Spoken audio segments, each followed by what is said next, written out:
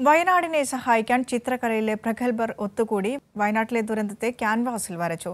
ഈ ചിത്രങ്ങൾ വിറ്റുകിട്ടുന്ന പണം മുഖ്യമന്ത്രിയുടെ ദുരിതാശ്വാസ നിധിയിലേക്ക് കൈമാറും.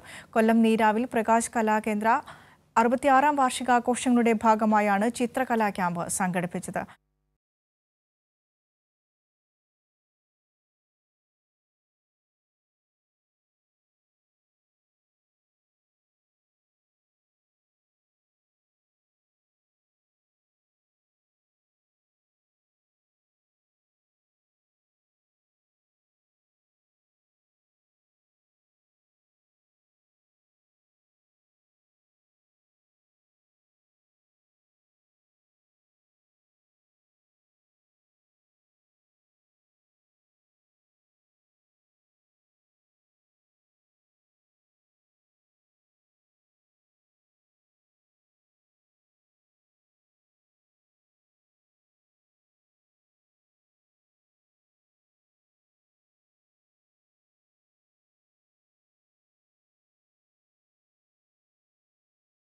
പബ്ലിക് ലൈബ്രറി ഹാളിൽ നടന്ന ചിത്രരചന M Mukesh M L A ഉദ്ഘാടനം ചെയ്തു.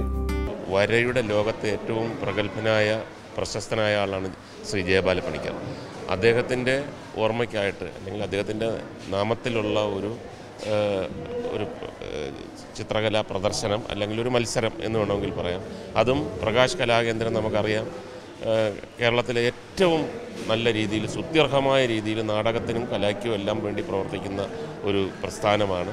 അപ്പോൾ രണ്ടുകൂടെ കൂട്ടിച്ചേർത്ത് ഏറ്റവും നമ്മൾ പ്രതീക്ഷിക്കാത്ത തരത്തിലുള്ള ഒരു ഒരു സബ്ജക്റ്റാണ് വയനാടിനോടൊപ്പം വരയ്ക്കാം. കൊല്ലം നീരാവിൽ പ്രകാശ് കലാകേന്ദ്രം അറുപത്താറാം വാർഷികാഘോഷങ്ങളുടെ ഭാഗമായി വിദ്യാർത്ഥികൾക്കായി സംഘടിപ്പിച്ച ജയബാല പണിക്കർ സ്മാരക ബാലചിത്ര രചനാ മത്സരം ലളിതകലാ അക്കാദമി സെക്രട്ടറി ബാലമുരളികൃഷ്ണയും ഉദ്ഘാടനം ചെയ്തു. കേരള സമൂഹം ഒന്നിച്ചു നിന്നാണ് ഇത്തരം പ്രയാസങ്ങളെ നേരിടുന്നത്. അതിന്റെ ഭാഗമായിട്ട് കേരളത്തിലുടനീളം ഈ കലാകാരരുടെ ഗ്രൂപ്പുകൾ ചെറുതും വലുതുമായിട്ടുള്ള കേരളത്തിലുടനീളം ഇപ്പം ഞാൻ തന്നെ പല ഗ്രൂപ്പുകളും ഉദ്ഘാടനം ചെയ്തിട്ടുണ്ട് ഇവരുടെ ഈ പരിപാടി തന്നെ അതുകൊണ്ട് കലാകാരന്മാർക്കും മനുഷ്യ സമൂഹത്തിൽ കുഞ്ഞുങ്ങൾ ഉൾപ്പെടെ എല്ലാവർക്കും വിശ്വാസമുള്ള ഒരു സംഗതി ആയതുകൊണ്ട് തന്നെ കേരളത്തിലുടനീളം ഇത്തരം കൂട്ടായ്മകൾ തുടരുന്നുണ്ട് എന്നുള്ളതാണ് എനിക്ക് പറയാനുള്ളത്. ദുരന്തമുഖത്തെ രക്ഷാദൗത്യം മഴ പെയ്യുന്ന തെരുവ് എന്നിവയായിരുന്നു മത്സര വിഷയം. വയനാടിനായി വരയ്ക്കുന്ന പെയിന്റിങ്ങുകൾ വിറ്റുകിട്ടുന്ന തുക കലാകേന്ദ്രം അംഗങ്ങളിൽ നിന്നും സ്വരൂപിക്കുന്നതും ചേർത്ത് മുഖ്യമന്ത്രിയുടെ ദുരിതാശ്വാസ നിധിയിലേക്ക് കൈമാറും. ജീവന്റെ തുടക്കം ജലത്തിൽ നിന്നാണെന്നാണ് ചില പഠനങ്ങൾ പറയുന്നത്.